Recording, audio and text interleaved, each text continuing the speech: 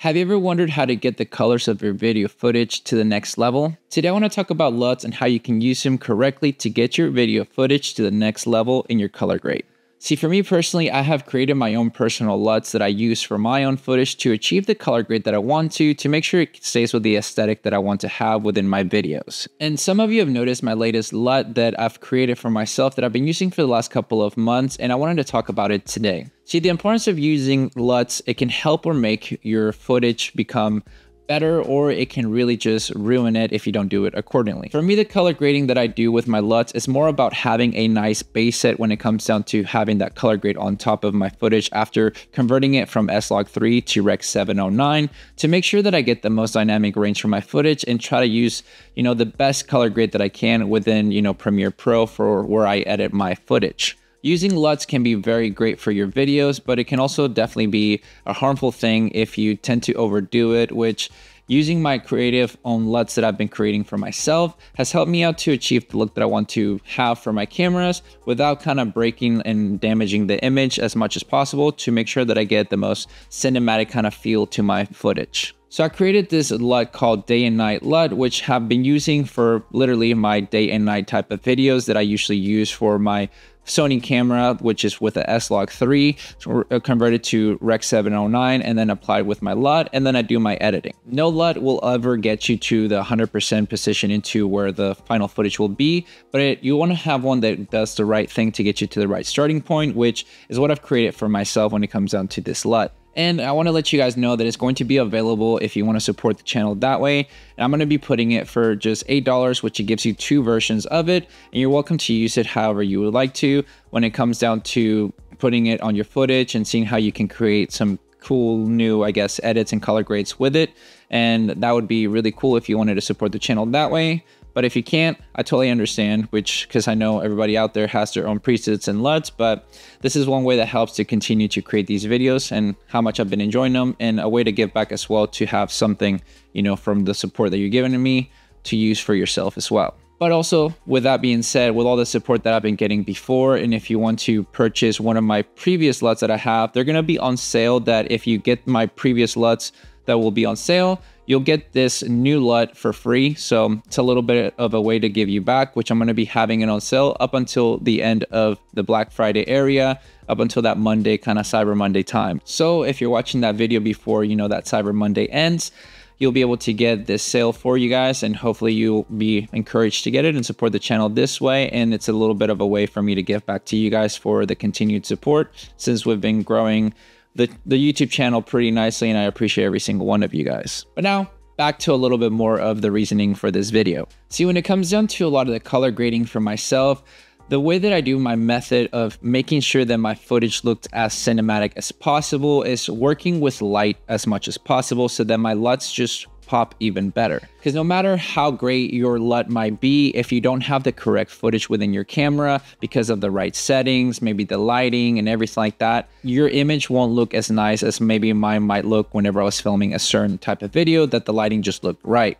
So that's something that I want you guys to consider when you're looking into LUTs to use because sometimes people get frustrated that the image that they saw within the previews of the LUTs that people are either selling and stuff like that doesn't come out to be how they're doing it with their camera. This is one of the reasons why. Everything's going to be subjective to light and everything, how you use it with the type of settings that you put into your camera which I'll give you a little bit of a hint of what I usually do for my S-Log 3 footage. Whenever I'm shooting, I'm making sure that my exposure compensation is about 1.3 plus to 1.7. Rarely do I let it go to the 2 plus because sometimes it can clip a little bit if you let it go too much, but that helps me make sure that I get the most dynamic range for my image without losing quality within it. Now, I also make sure to have the best and as accurate of white balance that I can have in camera so that whenever I go into post, I'm not having to damage too much the image going back and forth with the white balance since these cameras can't shoot raw and you kind of want to get it as close as possible despite having 10-bit color.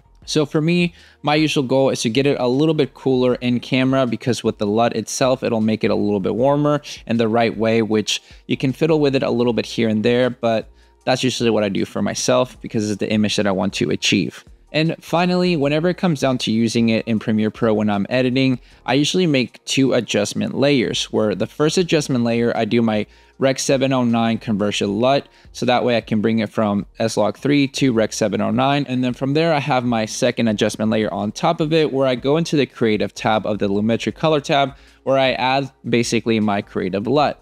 that's what allows me to have the most kind of range with my editing and everything. And then I go ahead and do my basic adjustments within the actual footage itself on the file of it and the Lumetri tab, and then just go ahead and basically have my final footage. So these are some examples that I've been able to use my own personal LUT, the day and night LUT recently whenever I've created some videos with it. And that way you can see some examples of the before and after.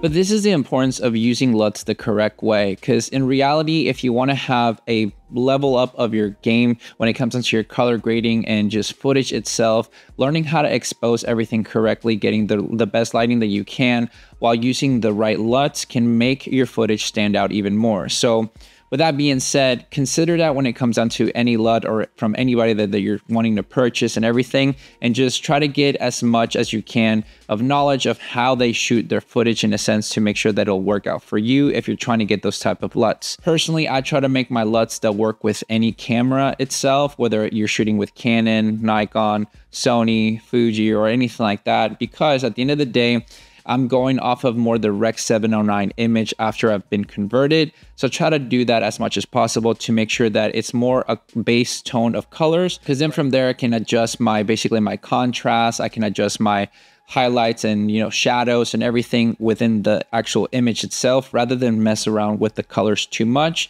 and then you know basically the white balance if needed be Hopefully this will help you out when it comes down to the importance of using LUTs correctly to be able to create your, you know, videos to make them more cinematic if you're wanting to leveling them up. I know it can seem like a shameless plug when it comes down to this video, but in reality, it's something that I believe that if I want to invest in myself as my own sponsor kind of content, if you will, within my own videos, there's a reason why I want to promote it because it's something that I use for myself daily. If you've been seeing my latest videos and the color grading, you've been enjoying it. That's the LUT that I've been using for myself. And I thought it'd be a great time to, in a sense, be able to give back as I release this new LUT for you guys to experience if you're choosing to support the channel this way as a way to give back for your support, whether you're watching the videos as long as you have before whether you're day one or you know day whatever that you've been joining into the the good old department here of the channel as we keep growing. And i just appreciate every single one of you guys for being here. So hopefully you'll be enjoying the LUTs and uh, you know